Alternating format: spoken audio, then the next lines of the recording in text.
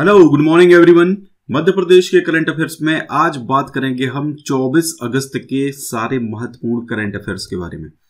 कल दो प्रश्न हमने पूछे थे कि कौन सा राष्ट्रीय उद्यान मध्य प्रदेश में नहीं है? तो इसका जो सही आंसर है, वो है वाल्मीकि राष्ट्रीय उद्यान। क्योंकि माधव राष्ट्रीय उद्यान, सतपुड़ा राष्ट्रीय उद्यान और पेंच राष्ट्रीय उद्यान, ये तीनों ही राष्ट्रीय उद्यान कहाँ पर हैं? मध्य प्रदेश में हैं। मध्य प्रदेश का क्षेत्रफल कितना है? तो इसका जो सही आंसर है, वो है 308 लाख हेक्टेयर। ये मध्य प्रदेश का कुल क्षेत्रफल है। डैलेश चौहान ने इसका अच्छा आंसर किया है। वाल्मीकि राष्ट्रीय उद्यान मध्य प्रदेश में स्थित नहीं है बिहार राज्य के पश्चिमी चंपारण ज़िले के वाल्मीकि नगर नामक स्थान पर स्थित है। इसकी सीमा नेपाल देश से लगती है। यह राष्ट्रीय उद्यान I U C N I U C N की द्वितीय श्रेणी में शामिल है। यह संस्था विलुप्त हो रहे पशु, पक्षी, प्रजाति को रेड लिस्ट में शामिल कर, उन्हें संरक्षित करती है। कौन सी संस्था? आई यू सी एन यहाँ बंगाल टाइगर पाए जाते हैं। माधव राष्ट्रीय उद्यान शिवपुरी ज़िले में स्थित है। उन्नीस सौ अट्ठावन में राष्ट्रीय उद्यान बना। यहाँ जॉर्ज कैसल नामक भवन पहाड़ों की चोटी पर स्थित है। सतपुड़ा राष्ट्रीय उद्यान होशंगाबाद ज़िले में है। इसकी स्थापना उन्नीस में की गई थी। यहाँ वर्ष उन्नीस सौ 2000 में प्रोजेक्ट टाइगर की शुरुआत हुई। आपको है, मध्य प्रदेश में कुल टाइगर प्रोजेक्ट कितने हैं? कुल टाइगर प्रोजेक्ट है मध्य प्रदेश में छह, ठीक है? यहाँ कृष्ण मृगों की संख्या अत्यधिक है। पेंच राष्ट्रीय उद्यान सिवनी व छिंदवाड़ा ज़िले में है 1975 में स्थापित हुआ था। यह भी प्रोजेक्ट टाइगर में 1992 93 में शामिल हुआ था। यह राष्ट्रीय उद्यान को मोगली लैंड के नाम से भी जाना जा, जाता है। रुडयार्ड किपलिंग की द जंगल बुक जो मोगली की कहानी है राश, इसी राष्ट्रीय उद्यान से प्रेरित है। मध्य प्रदेश का क्षेत्रफल है 300 लाख 308 लाख हेक्टेयर या तीन लाख आठ हज़ार दो सौ पैंतालीस स्क्वायर किलोमीटर। भारत में क्षेत्रफल की दृष्टि से दूसरा राज्य मध्य प्रदेश है। यह भारत के कुल क्षेत्रफल का नौ दशमलव तीन आठ प्रतिशत है। इसका ज्यामितीय आकार आयताकार है, इसका पूर्व से पश्चिम विस्तार जो है वो 870 किलोमीटर है, तथा उत्तर से दक्षिण का जो विस्तार है वो 605 किलोमीटर है। मध्य प्रदेश की सीमा पाँच राज्यों से लगती है, गुजरात, राजस्थान, उत्तर प्रदेश, छत्तीसगढ़ और महाराष्ट्र। उत्तर प्रदेश से सर्वाधिक सीमा लगती है साथ साथ आपका जो गुजरात है, इससे सबसे कम सीमा मध्य प्रदेश की लगती है। कल के लिए आपका प्रश्न है, कौन सा मिलान गलत है? ठीक है, ये आपको सही जवाब एक देना है। दूसरा है, निम्नलिखित जानकारी पर ध्यान दीजिए। यह ग्वालियर का प्रमुख लोक नृत्य है। यह दिवाली से कार्तिक पूर्णिमा तक आयोजित होता है। नर्तक धोती पहनकर और मोर के पहनावे में नाचते हैं। ढोलक, झांझ, मजीरा, मृदंग मुख्य रूप से बजाया जाता है। इसे बुंदेलखंड का यादव नृत्य भी कहा जाता है। यह नृत्य कौन सा है? आपके दो प्रश्न कमेंट करके बताने हैं। ये हमारा करंट आउटलुक है। अर्धवार्षिकांक आप अगर चाहें तो ले सकते हैं। पूरा करंट अफेयर आपका जनवरी से लेकर जून तक का इसमें कवर अप हो जाएगा। साथ ही हमारा जुलाई का जो करंट अफेयर है, वो भी आपको एक से दो दिन के अंदर मिल जाएगा। ठीक है? अगर आप मंथली ले रहे हैं तो मंथली भी सारा करंट अफेयर आपका अवेलेबल है। कोई क्वेरी करना चाहते हैं, इस व्हाट्सएप नंबर पर कर सकते हैं। साथ ही हमारे मध्य प्रदेश जीके के जो नोट्स हैं वो आपको आगामी व्यापम के जो एग्ज़ाम्स हैं, उनमें काफ़ी काम आएँगे। वो भी आप ले सकते हैं। चलिए, पहला प्रश्न है हमारा, केंद्रीय सामाजिक न्याय और अधिकारिता मंत्रालय द्वारा कराए गए राष्ट्रीय सर्वेक्षण के अनुसार नशा करने के मामले में मध्य प्रदेश का देश में कौन सा स्थान है? तो देखिए, यहाँ पर अगर बात करते हैं तो केंद्रीय सामाजिक न्याय और अधिकारिता मंत्रालय। चलिए, कमेंट करके बताएँ कि इसके मंत्री कौन हैं। ठीक है, आपको कमेंट करके बताना है। तो इन्होंने एक राष्ट्रीय सर्वेक्षण करा है, दो सौ बहत्तर करीब जिलों में जिलों में ये सर्वे जो है वो करा गया है। तो इसमें नशा करने के मामले की अगर बात करते हैं तो मध्य प्रदेश का जो स्थान है वो है चौथा मतलब चौथे नंबर पर मध्य प्रदेश इसमें आया है। देश भर में करीब 22 करोड़ लोग नशा करते हैं। एक खुलासा केंद्रीय सामाजिक न्याय व अधिकारिता मंत्रालय द्वारा कराए गए राष्ट्रीय सर्वेक्षण में हुआ है। इसमें मध्य प्रदेश उत्तर प्रदेश, राजस्थान और पंजाब के बाद चौथे नंबर पर मतलब यानी कि उत्तर प्रदेश पहले नंबर पर है, दूसरे नंबर पर राजस्थान है और तीसरे नंबर पर है आपका पंजाब, ठीक है? मध्य प्रदेश की राजधानी भोपाल समेत पंद्रह जिलों में सर्वाधिक नशा होता है। इस रिपोर्ट के अनुसार भारत में लगभग 16 करोड़ लोग शराब, तीन दशमलव एक करोड़ लोग भाँग और दो दशमलव दो छह करोड़ लोग अन्य तरह के नशे करते हैं, जिसमें आपका सिगरेट हो जाएगा, आपका गुटखा हो जाएगा ये सारी चीज़ें आपकी इसके अंदर आएँगी। तो मध्य प्रदेश का जो स्थान है, वो चौथा है।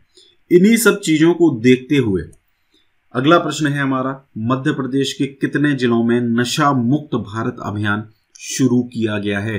Very very very most important question है ठीक है? इस प्रकार के प्रश्न एग्ज़ाम में पूछ लिए जाते हैं।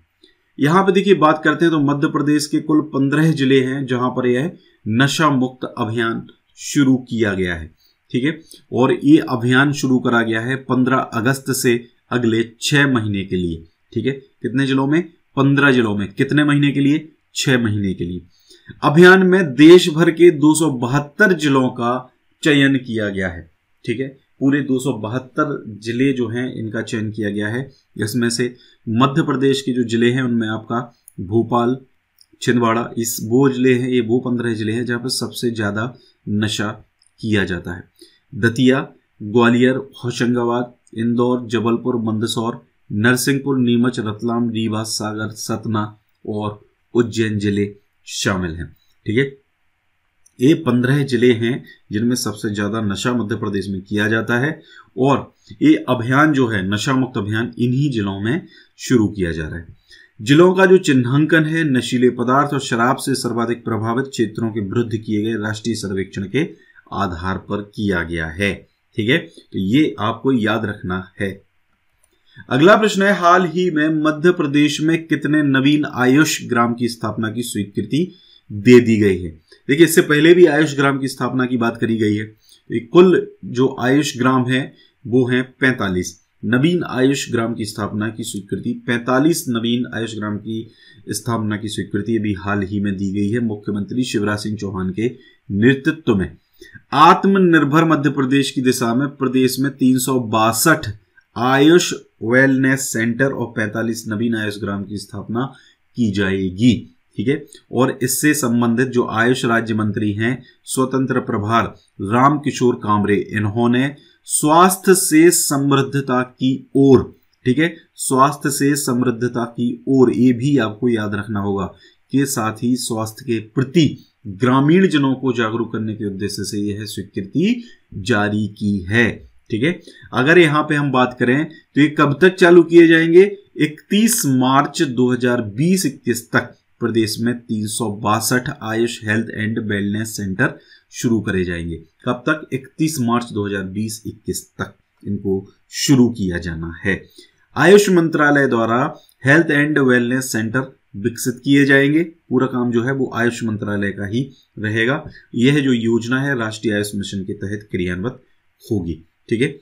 और आयुष विभाग द्वारा प्रदेश के ग्रामीण जनों के स्वास्थ्य संरक्षण के लिए आयुष ग्राम योजना शुरू करी गई है।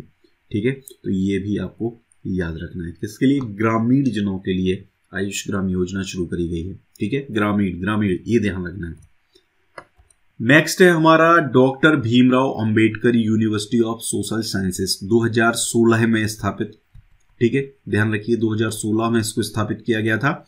इसके द्वारा 24 से लेके 29 अगस्त तक एक राष्ट्रीय वेबिनार का आयोजन और व्याख्यानमाला का आयोजन किया जा रहा है। राष्ट्रीय वेबिनार और व्याख्यानमाला का आयोजन किया जा रहा है। देखिए, एक बार एक कमेंट आया जब मैंने वेबिनार बताया था तो वेबिनार पूछ रहे थे कि वेबिनार क्या होता है? तो देखिए, एक तो होता है आपका सेमिनार सेमिनार में क्या होता है? एक कोई बंदा प्रेजेंटेशन देता है किसी विषय के ऊपर और उसको बहुत सारे लोग देखते हैं। कहाँ देखते हैं? सामने बैठ के देखते हैं। सामने वाला बंदा प्रेजेंटेशन देता है, सामने बैठ के लोग देखते हैं। ये सेमिनार हो गया।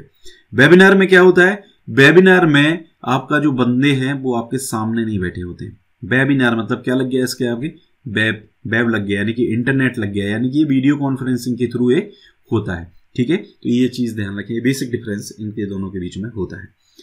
एक भारत श्रेष्ठ भारत, देखो अपना नॉर्थ ईस्ट पर केंद्रित होगा ये वेबिनार और इसके उद्घाटन अवसर पर जो संस्कृति, पर्यटन और आध्यात्म मंत्री हैं, सुश्री उषा ठाकुर, ठीक है?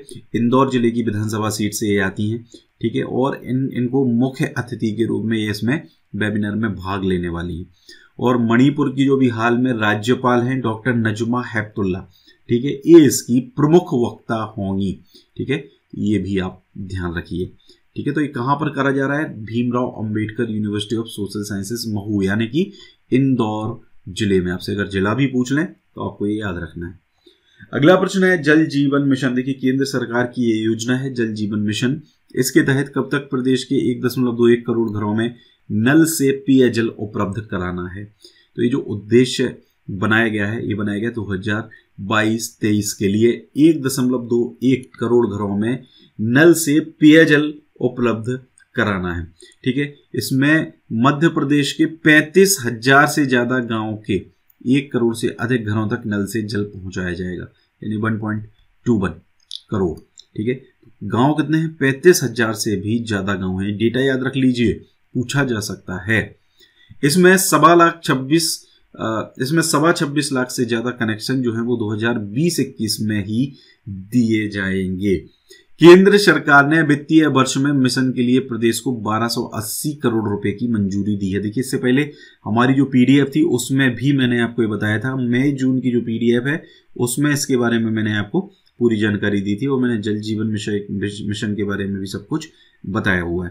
ठीक है तो बारह अस्सी बारह सौ अस्सी करोड़ की मंजूरी दी है और इतनी ही राशि जो है, वो प्रदेश सरकार को इसमें मिलानी है। मतलब एक सौ अट्ठाईस दूना दो सौ छप्पन, यानी 2560 करोड़ रुपए की राशि इस पूरे काम में खर्च की जाएगी। ठीक है, अभी तक प्रदेश में सोलह हज़ार से ज़्यादा नल जल योजनाओं से करीब साढ़े तेरह लाख ग्रामीण घरों में नल कनेक्शन उपलब्ध हैं। इस मिशन में वर्ष 2023-24 तक सभी एक दशमलव दो एक करोड़ घरों में नलों से पेयजल उपलब्ध कराया जाएगा।